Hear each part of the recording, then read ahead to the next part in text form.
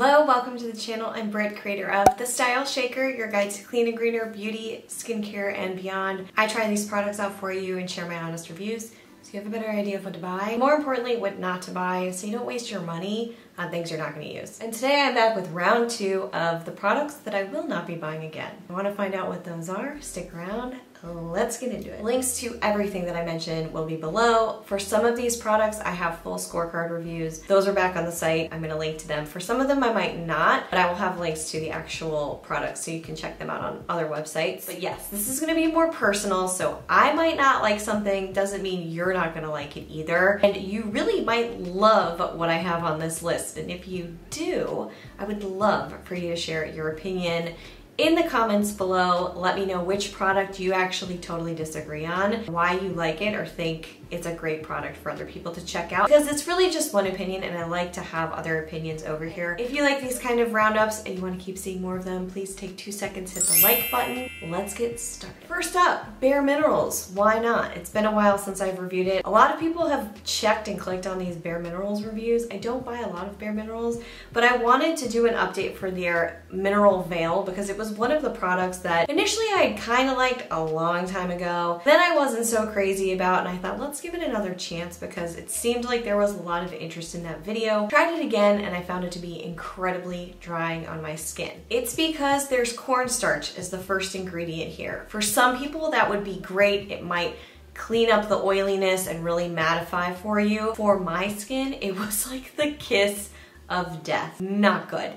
So yeah, this is gonna be, I really only have used it a couple of times. I'm using it for this video. probably give this to a friend or my mom. If you do wanna see all of my current favorites, by the way, out of the hundreds of products that I've tried, there is a list, a short semi-short list. I try and edit it down to my absolute current favorites that I would buy again and again and again. It changes monthly. It's back on Britt's Picks on the website. Check it out if you want to just beeline it to that at any point in this video. It's also a really good starting point if you have no idea where to go for a category or all the products. Next up, Kosas. This is the Kosas bronzer. First of all, the container, man, Kosas really does go big with that plastic. Container broke real fast for me. The product itself got a film and caked over, so now I have to scrape it. Has a very weird scent. It's a very warm shade of bronzer. The shade really has the least amount of, to do with my not wanting to use it again because, you know, you can change your shade on a bronzer, usually if they have other options. It's those other reasons. That's why I don't like this. I have used this a lot as an eyeshadow. I feel like this is just gonna be go forward eyeshadow because I can't smell it. I can't smell my eyelid. Next up, there is definitely not a full review for this this because I, I know because I haven't done it yet, but this is the Bite refillable deodorant. Now this isn't Bite Beauty, which is sadly going out of business.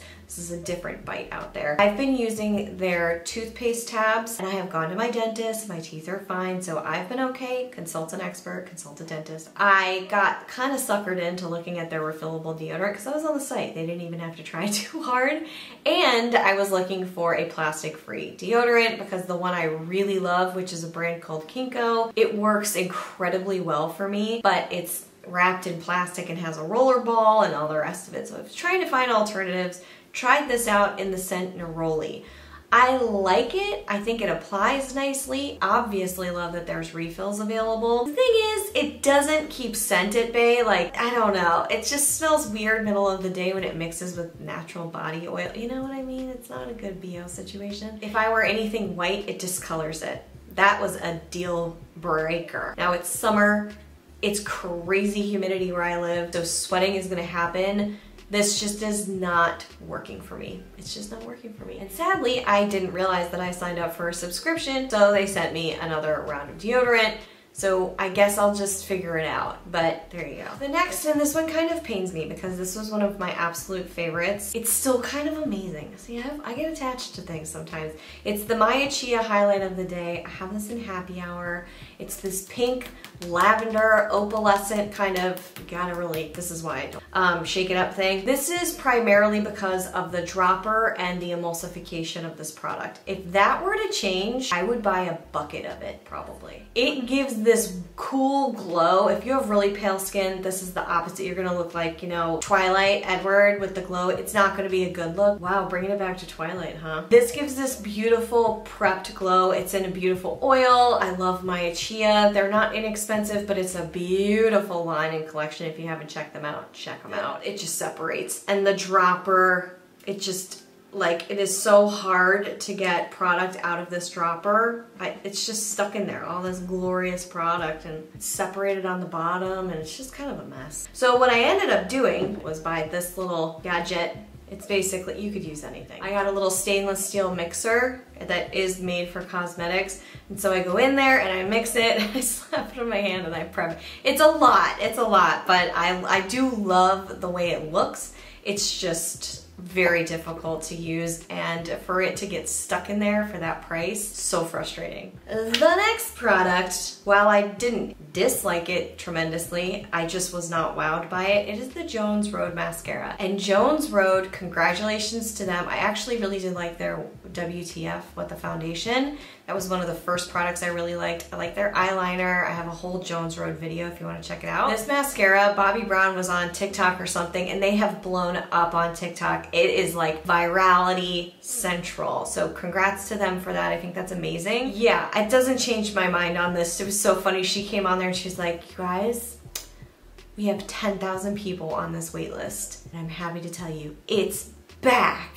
Like, you gotta love, you just gotta love the marketing. Props to her for that level of marketing because it's good. I liked the volume here, full review back on the site. The thing that happened for me was by the end of the day, there was some sort of drying that took effect. This has happened in other mascaras that I've tried and I really don't like this. Lashes by the end of the day looked more like little sticks. It just dried. Use it with a primer and you could be set. It could be worth your while. Black plastic, not a fan. Let's get a refill option going here. Specifically with black plastic, it's really hard to recycle. That was the reason why. I wasn't disliking it like I mentioned, it just was not my holy grail. Oh my god, it's the greatest mascara I've ever tried. Westman Atelier's foundation. Also, not inexpensive. Westman Atelier is very, very high price points. I'm not gonna harp on that, it is what it is. I don't think I've tried something from Westman Atelier that has justified the price point for me. The lip suede is getting there, it's slowly getting there, but usability wise, kind of a hot mess. This stick foundation, I do not think is worth it. I just don't personally feel like it's worth it. I didn't see the finish that I liked. I saw some coverage, but it was really primarily finish and a couple of other things that I mentioned in the scorecard post. Mainly it was that finish. It did not look right. Skin did not look like skin. And that's a personal deal. Gotta look at your prep. You gotta look at how you applied it. You'll see in the scorecard post, I tried so many different ways. I'd have to use a primer for sure. I don't like using a primer on my skin before I apply anything, simply because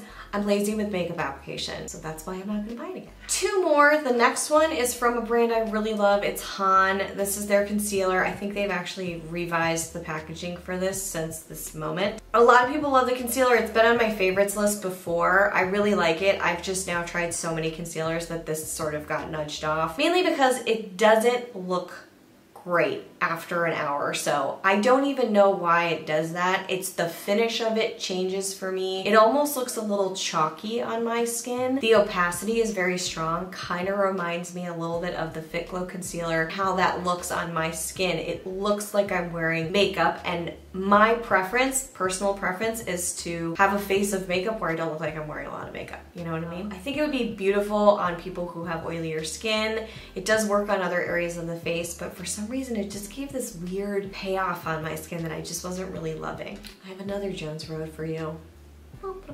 It's the Miracle Balm. Again, blowing up. People are loving it. It's the greatest thing since sliced bread. I can't get into this. I'm still using it because like hello, so much in here, which is generous and great, and if I loved it, that would be great. But there's too much plastic. Granted, the brand has come out with some glass containers, which I fully appreciate. This just looks and feels weird. It doesn't, I can feel it on my face all day. I don't like it. I don't feel like it's a miracle. I don't feel like it gives me a glow that I really want to see. I just look too oily and I feel oily. I know, God forbid I'm outside and a wind blows, everything will stick to my face. Finally, this was also a previous favorite and it would still be a favorite if they lasted longer. It's the RMS lipsticks Rebound lipsticks, I believe is what they're called. Had it in Jezebel. Maybe I had it in the color Rebound. I ordered Jezebel like three times from different places. Every time I got it, within weeks, it started smelling completely rancid and I returned so, it. The last time I did it, I was like, forget it, just credit my account. I can't handle this anymore, I'm sending it back and forth. So I love this lipstick, but for some reason, their batches were not in a good place. In a weird way, this is probably something I might want to take another look at. I mean,